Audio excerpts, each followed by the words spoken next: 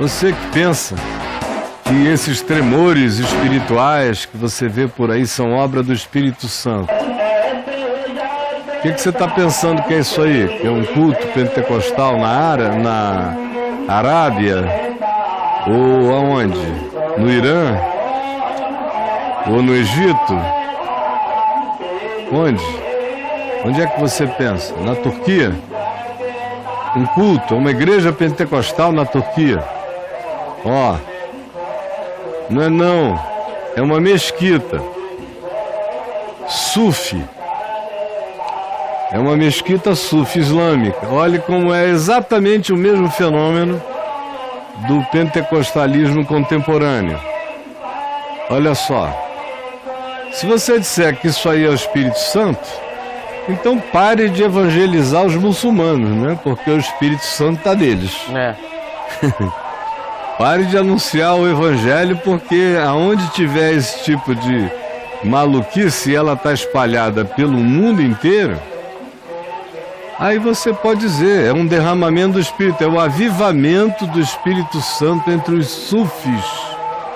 Olha só, você vê isso acontecendo aqui, sendo feito em nome de Jesus, isso aí está sendo feito em nome de Alá estão incorporando essa histeria, estão possessos desse espírito de confusão, de catarse enlouquecida.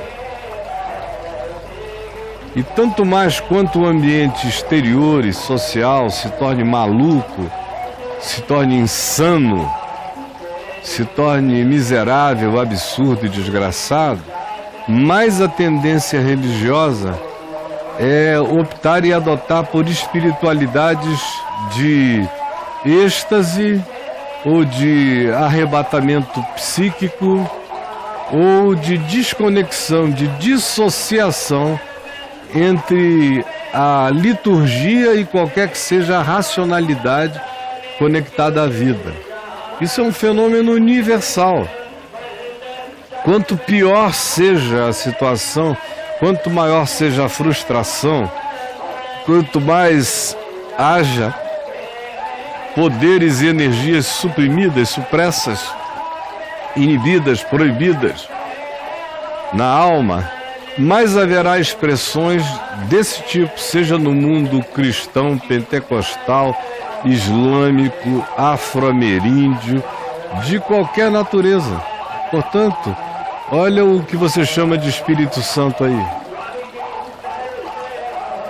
A ignorância é uma coisa absolutamente diabólica, porque é em nome da ignorância que não quer ser ilustrada, que não quer ser instruída, é que as pessoas ficam se entregando a doenças a estrionismos, a histerismos, a mecanismos psicológicos de dissociação, a catarses induzidas, e tudo isso em nome do Espírito de Cristo, ou do Espírito de Alá, ou da manifestação de algum, no caso dos muçulmanos, de algum jinn, de algum espírito tomando conta do indivíduo. E você veja como aí ainda é até mais calmo e mais fraterno no que dos nossos ambientes de pentecostismo estriônico, histérico brasileiro. Aí você ainda encontra um abraço que parece ter um tempo, um tempo de um sentimento. Mas não fica só nisso. Tem que terminar em sacudida, não pode terminar em serenidade esse tipo de espírito de Deus, desses fenômenos, não conhece paz, nem serenidade, nem tranquilidade. Tudo tem que ser estribuchado, estremecido, descontrolado, para poder designar o fato de que há uma soberania do espírito descontrolando as pessoas. Imagine. O Deus Criador se manifesta tirando o controle, fazendo o que um macaco não faz, fazendo o que uma criatura qualquer da natureza em nossa volta não pratica, a menos que esteja atormentada, a menos que esteja doente.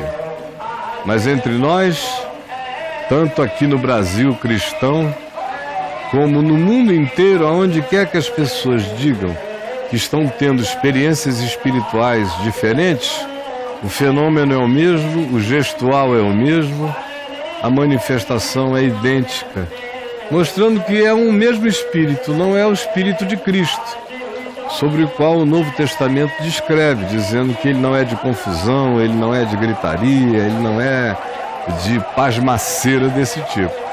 Isso aí é um outro espírito, é o espírito da era. É uma curiosidade que eu achei que você deveria discernir e para o seu próprio bem para aumentar o seu discernimento.